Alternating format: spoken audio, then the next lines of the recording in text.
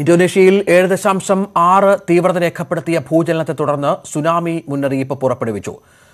Flores കടലിൽ നിന്ന് ഇരുപത്തിയേഴ് കിലോമീറ്റർ മാറിയാണ് ഭൂകമ്പം ഉണ്ടായത്. ആയിരം കിലോമീറ്റർ വരെ തിരകൾക്ക് സാധ്യതയുണ്ടെന്ന് പസഫിക് സുനാമി മുന്നറിയിപ്പ് കേന്ദ്രം അറിയിച്ചു. സുരേഷ് വെള്ളിമറ്റും ഏറ്റവും പുതിയ വിവരങ്ങൾ നൽകും. സുരേഷ് തീവ്രത കണ്ടിട്ട് അത് ശക്തമായ തരത്തിലുള്ള ഭൂചലനം എന്ന് വേണം മനസ്സിലാക്കാൻ. എന്താണ് ജാഗ്രത പുലർത്തേണ്ടത്? എന്താണ് മുന്നറിയിപ്പുമായി ബന്ധപ്പെട്ട് ഇപ്പോൾ ലഭിക്കുന്ന വിവരം?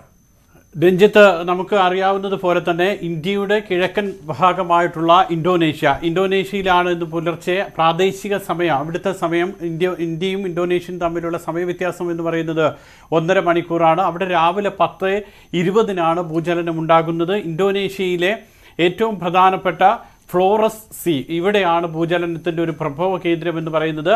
ഇന്തോനേഷ്യയുടെ കിഴക്ക് തെക്ക് കിഴക്കൻ ഭാഗത്തേക്ക് മാറിയിട്ടാണ് ഭൂചലനം ഉണ്ടായിട്ടുള്ളത്. ഈ ഫ്ലോറസ് സീയിൽ ഫ്ലോറസ് കടലിൽ സമുദ്രനിരപ്പിൽ നിന്നും ഏതാണ്ട് പതിനെട്ട് കിലോമീറ്റർ ഉള്ളിലാണ് ഭൂകമ്പത്തിന്റെ പ്രഭവ കേന്ദ്രം എന്ന് പറയുന്നത്. അതുകൊണ്ട് തന്നെ ആണ് സുനാമിയുടെ മുന്നറിയിപ്പിനുള്ള ഏറ്റവും പ്രധാനപ്പെട്ട സാധ്യത എന്ന് പറയുന്നത്. ഈ ഫ്ലോറസിൽ നിന്നും ഏതാണ്ട് ആയിരം കിലോമീറ്റർ ചുറ്റളവിൽ സുനാമി സാധ്യതയുണ്ട് എന്നുള്ളതാണ് ഇപ്പോൾ വരുന്നിട്ടുള്ള മുന്നറിയിപ്പ് എന്ന് പറയുന്നത് ഭൂചലനത്തിന്റെ ശക്തി ഏഴ് ദശാംശം ആറാണെന്നും ഏഴ് ദശാംശം ഏഴാണെന്നുമുള്ള രണ്ട് റിപ്പോർട്ടുകളുണ്ട്. ഏതായാലും ഏഴ് ദശാംശം അഞ്ചിന് മുകളിലാണ് ഭൂചലനം എന്ന് പറയുന്നത്. അതുകൊണ്ട് തന്നെ ഇന്തോനേഷ്യയെ സംബന്ധിച്ചിടത്തോളം ഏഴിന് മുകളിൽ ഭൂചലനം വന്നു കഴിഞ്ഞാൽ അത് ഏറ്റവും ശക്തിയുള്ളൊരു ഭൂചലനം തന്നെയാണ്. ഈ റിംഗ് ഓഫ് ഫയർ എന്ന് പറയുന്ന ഈ ഒരു മേഖല ഉണ്ട്. പസഫിക് ഓഷനിൽ ഏറ്റവും കൂടുതൽ ഭൂചലനങ്ങൾ ഉണ്ടാകുന്നതും ഏറ്റവും കൂടുതൽ അഗ്നിപർവത സ്ഫോടനങ്ങൾ ഉണ്ടാകുന്നതുമായിട്ടുള്ളൊരു മേഖലയാണ് റിംഗ് ഓഫ് ഫയർ എന്ന് പറയുന്നത്. ആ ഒരു മേഖലയിൽപ്പെട്ട സ്ഥലമാണ് ഇന്തോനേഷ്യ. അതുകൊണ്ട് തന്നെ ഭൂചലനം ഏഴിന് മുകളിൽ പോയാലാണ് അവിടെ ഏറ്റവും വലിയ പ്രത്യാഘാതങ്ങൾ ഉണ്ടാകാനുള്ള സാധ്യത എന്ന് പറയുന്നത്. ഏതായാലും ഇന്തോനേഷ്യയുടെ കിഴക്ക് മാറിയിട്ട് ഫ്ലോറസ് കടലിൽ സമുദ്രനിരപ്പിൽ നിന്നും പതിനെട്ട് കിലോമീറ്റർ ആഴത്തിലാണ് ഇപ്പോൾ ഭൂചലനത്തിന്റെ പ്രഭവ കേന്ദ്രം എന്ന് പറയുന്നത്. അതിന്റെ ഭാഗമായി ഏതാണ്ട് ആയിരം കിലോമീറ്റർ ചുറ്റളവിലാണ് ഇപ്പോൾ ഈ സുംബ പറയുന്ന ഈ മേഖലയിൽ അതിന്റെ മുന്നറിയിപ്പുണ്ട്. അതുപോലെ ഇപ്പം തന്നെ ഏറ്റവും പ്രധാനപ്പെട്ട സ്ഥലമാണ് മൗമിയർ എന്ന് പറയുന്ന ദ്വീപ് ഇന്തോനേഷ്യയിലെ ഈ ദ്വീപ് പ്രദേശങ്ങളിലുണ്ട്. അതോടൊപ്പം തന്നെ ബന്ദ സിയുടെ ഏതാണ്ട് ഈ ഒരു ഭാഗത്തേക്കും ഫ്ലോറസ് സിയുടെ ഈ ഒരു ഭാഗത്തേക്കും ഇത്രയും പ്രദേശത്താണ് ഇപ്പോൾ ഒരു സുനാമി മുന്നറിയിപ്പ് നൽകിയിട്ടുള്ളത്. ഏതായാലും ഇതുവരെയുള്ള റിപ്പോർട്ട് അനുസരിച്ച് നാശനഷ്ടങ്ങൾ എവിടെ നിന്നും വന്നിട്ടില്ല.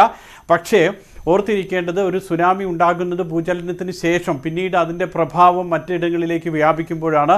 അതുകൊണ്ട് തന്നെ പതിനൊന്ന് രാവിലെ പത്ത് ഇരുപതിന് പ്രാദേശിക സമയത്ത് ഉണ്ടായി. ഇനിയിപ്പോൾ ഏതൊക്കെ മേഖലകളിൽ അതിന്റെ സുനാമി തിരമാലകൾ എത്തിയിട്ടുണ്ട് അങ്ങനെയുള്ള വിവരങ്ങളൊക്കെ വരാനിരിക്കുന്നതേ ഈ ആയിരം കിലോമീറ്റർ എന്ന് പറയുമ്പോൾ സുരേഷ് നമുക്ക് നമ്മുടെ സമുദ്ര തീര സ്ഥലങ്ങളിലൊക്കെ അതുമായി ബന്ധപ്പെട്ട സ്ഥലങ്ങളിലൊക്കെ എന്തെങ്കിലും തരത്തിൽ ജാഗ്രതയുടെ കാര്യമുണ്ടോ? കാരണം നേരത്തെ ഒരു സുനാമിയുടെ ഒരു ഓർമ്മ നമുക്കുണ്ട് അതുകൊണ്ടാണ്.